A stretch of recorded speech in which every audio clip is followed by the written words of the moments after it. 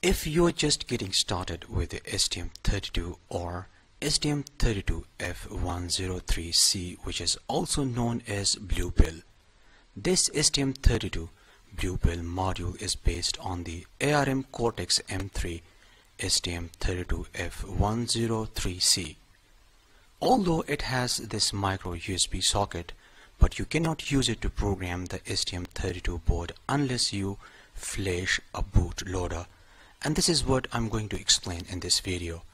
After flashing the bootloader then you will be able to program the STM32 using a USB cable just like the Arduino Uno ESP32 and Node MCU ESP8266 etc.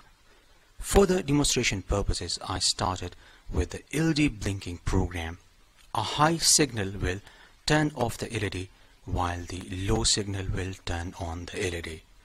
I will add links to all the related softwares and drivers in my article available on electronicclinic.com. You can find links in the description. Without any further delay, let's get started.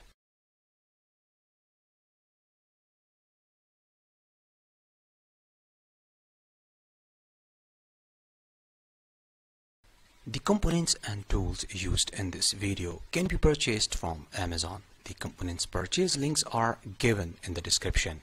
This video is sponsored by Altium.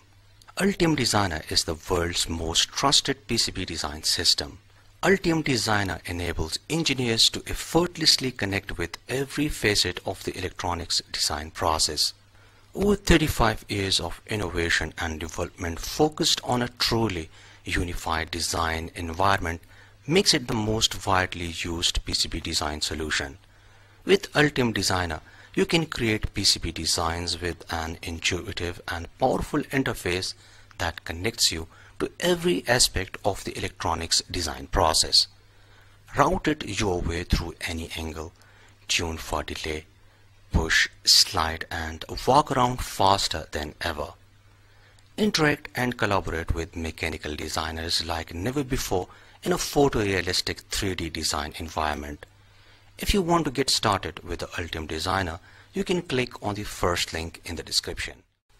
For flashing the STM32 bootloader, we will need this FTDI USB to TTL FT232RL board. Before you start connecting this FTDI board to the STM32, First, change the position of this jumper cape. We do it to select 3.3 volts. Next, you will also need to change the position of the jumper cape on the STM32 controller board. Why we need to do this? If you want to know about it, then read my article. Now let's take a look at the wiring diagram. The ground pin of the FTDI board is connected with the ground pin of the STM32 controller board. VCC of the FTDI board is connected with the 3.3 volt pin of the STM32 controller board. The TX and RX pins of the FTDI USB to TTL converter board are connected with the A10 and A9 pins of the STM32. The serial port number 1 is available on A9 and A10. A9 is the TX pin while A10 is the RX pin. I connected the FTDI USB to TTL board with the STM32 board as per the connections diagram. The jumper capes are set to their correct positions and now we are ready to start working on the computer side. The Arduino IDE does not come with the STM32 package pre-installed. We will need to do it manually. While the Arduino IDE is opened, copy this URL link.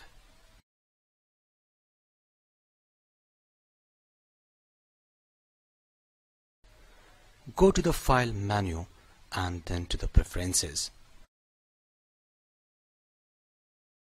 If you have other boards manager URLs then simply put a comma and paste the link. If you have not added any links then you can simply paste the link and there is no need to put a comma. When you are done then you can click on the OK button. Next go to the Tools menu and then to the Board and click on the Boards Manager.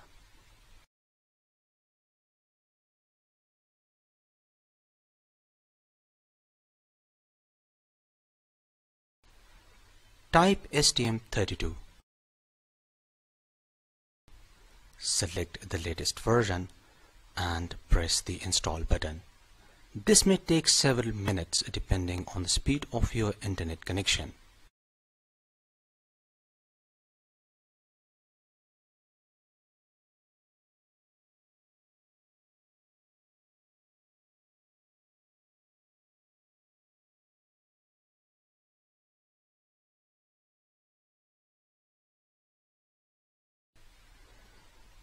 As you can see the board has been installed. Now let's go ahead and check if we can find the STM32 board in the Arduino IDE.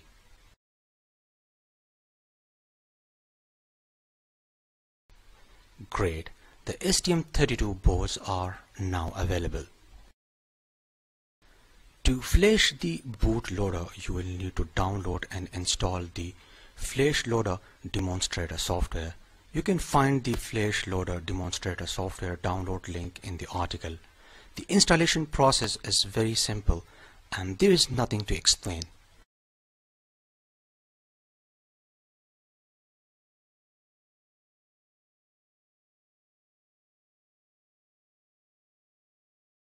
The Flash Loader demonstrator software is successfully installed. Next you will need to download the STM32 Duino bootloader Inside this folder, along with other files and folders, we have this binaries folder. Inside this folder, we have the binary files created for different versions of the STM32 controller boards. You can find the download link in the article. So we have the binary files and the flash loader demonstrator software is also installed. Now we are ready to flash the STM32 bootloader. Connect the FTDI USB to TTL converter module with the laptop. Open the Flash Loader demonstrator GUI.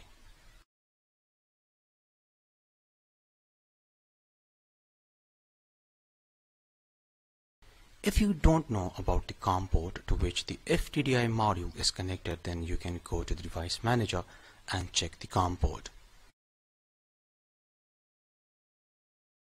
My FTDI module communication port is 9. Now on the Flash Loader demonstrator, you can select COM9 and then finally you can click on the next button. If you can see this green light and the flash size, it means we are doing everything correctly. Sometimes it generates an error. Let's go back to demonstrate this.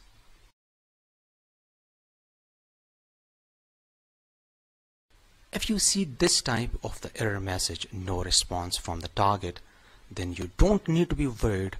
Now to fix this issue, all you need is to go to the STM32 controller board and press the reset button and this will fix everything for you. Now click on the next button.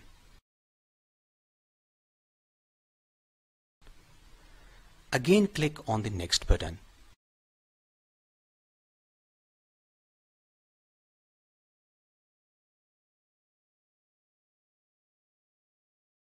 Now we will need to select the desired binary file.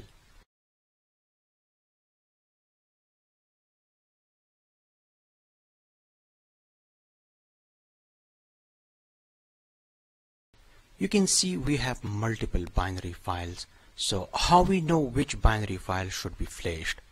Well, this is very simple. Go to the STM32 board and check to which pin the onboard LED is connected. In my case, the onboard LED is connected to PC13. Your onboard LED may be connected to some other pin if you are using a different version of the STM32 board. Anyways, I will select the generic underscore boot 20 underscore PC13 dot bin file. When you are ready, click on the open button. Finally, click on the next button.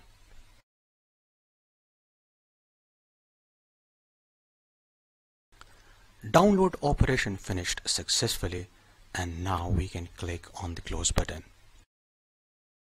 This final step is very important before you disconnect the FTDI board. First you will need to change the position of the jumper on the STM32 Otherwise you will lose all the settings and you will have to start the same process again. So once the jumper position is changed then you can disconnect the FTDI board and you can remove all the wires because you won't need this FTDI board to upload the code. So our STM32 board is ready for its first project. I'm going to control the onboard LED and we will use the USB cable to upload the code into the STM32 controller board. Connect the STM32 controller board with the laptop using a micro USB cable.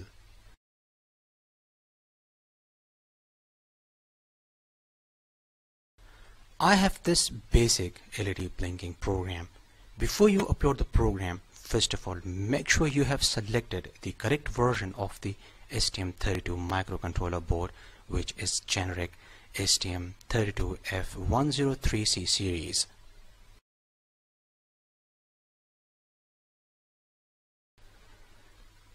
Next, check the variant. Next on the upload method, make sure you have selected the STM32 Arduino boot loader.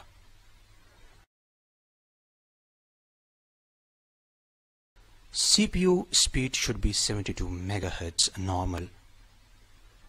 And finally make sure you have selected the correct communication port. You can see mine is COM10 Maple Mini.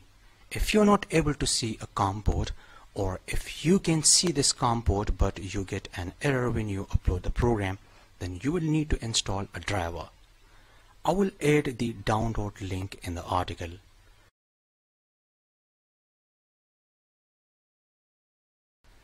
Double click on the install drivers. This will install the required drivers.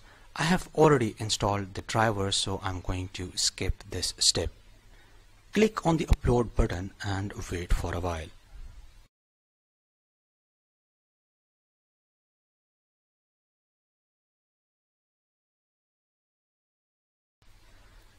Amazing. Now you can see the LED is blinking. As I explained earlier, a high signal will turn off the LED and a low signal will turn on the LED. You can download the STM32 based LED blinking program from my article available on electronicclinic.com. I will provide a link in the description. So that's all for now. Support me on Patreon for more videos. I hope you liked today's episode like and share this video with your friends. See you in next episode and thanks for watching.